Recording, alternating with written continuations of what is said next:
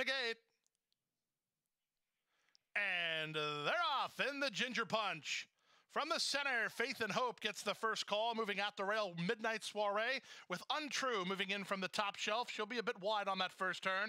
The Gray Passion Plus is away in the top flight. Weekend Mischief widest of all. Super Committees between horses, while third last. Pure Lemon is second last, and stretch running Amaluna is last of all as they chase the speed of long shot Faith and Hope.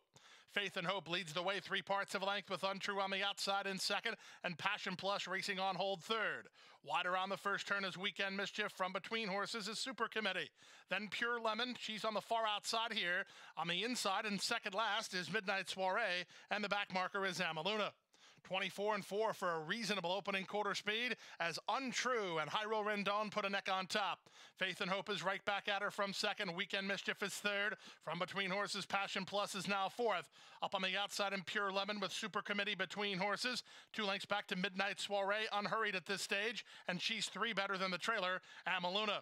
Less than half a mile to go as they leave the backstretch and move on to the far turn. Up on the outside, Weekend Mischief now makes her move to take the lead, but Super Committee moves to her, and Panici lets Midnight Soiree go. Midnight Soiree four wide and up on the outside as they move past the 5 16th. Now Super Committee made first run to take the lead. Midnight Soiree all the way up into second around Weekend Mischief, who's one paced while third. Passion Plus is next with Untrue, and there's less than a quarter of a mile to go. Up front, Super Committee and Victor LeBron set set sail for the money, three on top. Up to second was Midnight Soiree, but she hasn't made any ground on Super Committee. Passion Plus and Weekend Mischief are next, but the Ginger Punch is all about Super Committee. Super Committee and Victor LeBron win it easy, four or five in the end.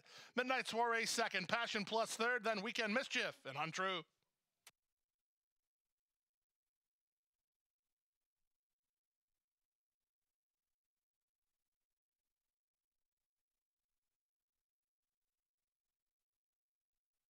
Is good for 29.40. The trifecta 23.20. Superfecta 137.80. 13.78 for a dime.